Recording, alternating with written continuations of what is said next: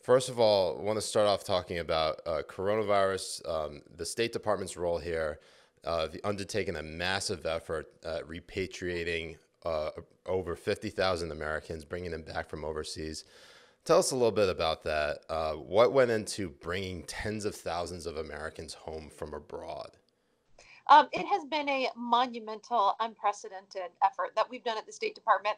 Uh, we've actually never had to do anything like this before. So, typically, if we have to evacuate Americans out of a situation or repatriate them, what normally happens is there's like, you know, a hurricane or a tsunami or some sort of uh, event. Maybe there's violence in a particular country and, and Americans can't get out. And that's when we would go in and help repatriate them.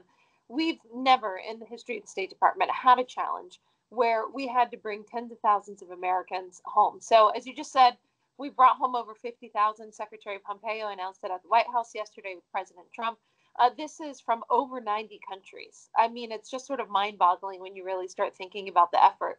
So that's 90 different governments that we had to work with, and and that means that there were no commercial airline uh, airlines available for these Americans to get out of.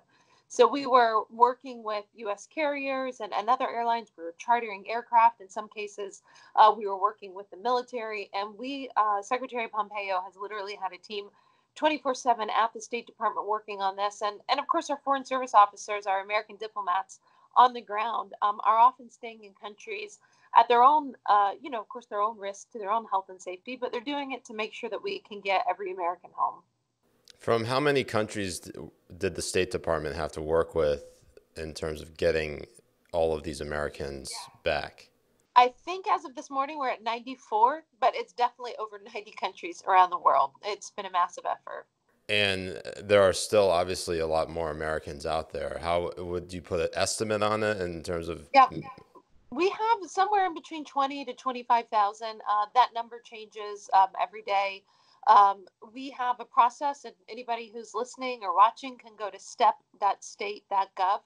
Um, I'll say that one more time. It's step, S-T-E-P.